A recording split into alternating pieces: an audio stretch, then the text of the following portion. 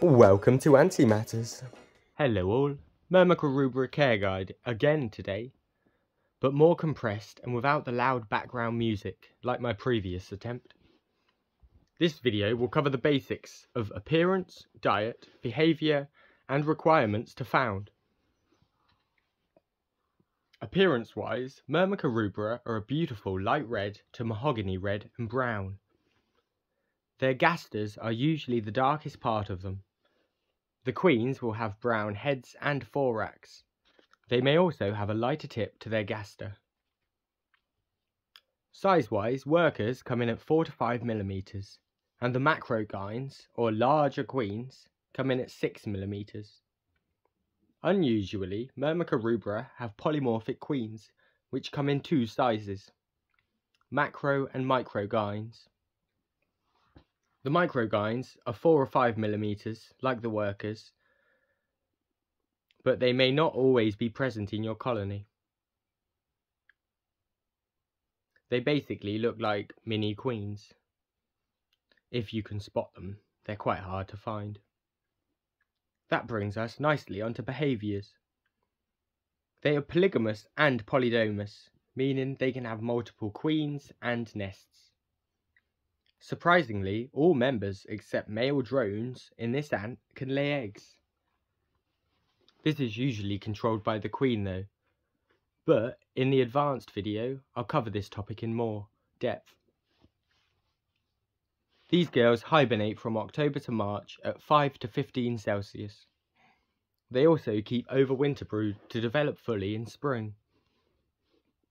Room temperature is fine for them when they're not hibernating and they enjoy a high humidity setup. I'd recommend a natural setup for these girls. There is nothing better. Ryan over at Antscape has a beautiful Myrmica ruginodis natural tank if you need inspiration. He's also got a shop, antscapes.co.uk, with everything you'd ever need. If you must go synthetic, a Gen 3 gypsum nest from Wakushi can hold humidity well and would be suitable. They are very chilled and very passive. As primarily scavengers, they enjoy dead bugs, cooked meat, fish, and protein jellies. Sugar-wise, honey water and everything else is great.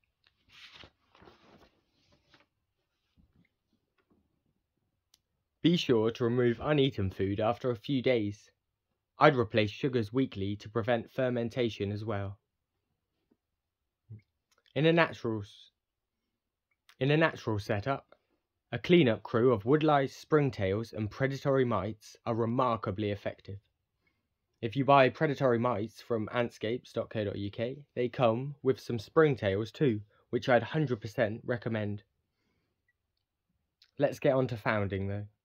Rubras can be difficult to found if, if their claustral space is too big. A tube with maybe 2 centimeters of space is excellent. They are semi-claustral, meaning they require sugar and protein during founding. Honey on cotton wool and dead fruit flies or chopped mealworms are a great choice. I'd recommend feeding them every week.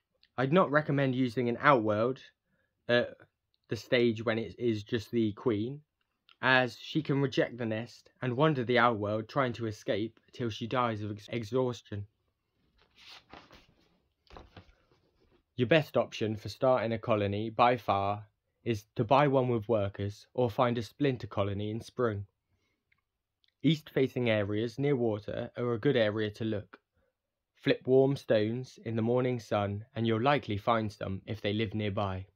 After around 10 workers, I'd move them into a natural setup, but a lot more workers if you want to move them into a synthetic setup. The bonus of a natural setup is they can dig their own tunnels to the exact size that they want. They're the best ant in the world and are my favourite. I'll make an advanced guide with more non-important but interesting things to factor soon. I hope this is clearer than the original and helps people though. Don't be afraid to reach out on Instagram or Discord if you need help or if you're answering trouble. Both are Anty Matters, maybe with some numbers. Or you can get hold of me below in the comments. Anyway, thanks for watching. Have a fab week. I'll see you next time, and bye.